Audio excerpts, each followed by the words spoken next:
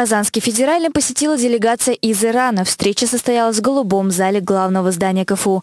Директор Департамента внешних связей КФУ Андрей Крылов рассказал гостям о структуре образования университета. Затронул ряд образовательных проектов. Перед собой ставим в этом направлении – это воспитывать, готовить педагога, учителя для мира, который постоянно меняется. Не обошлось и без обсуждения возможностей сотрудничества. Так планируется создать совместную дорожную карту, развивать программы по обмену между студентами и преподавателями. Елизавета Евтефеева, Владислав Михневский, Univer News.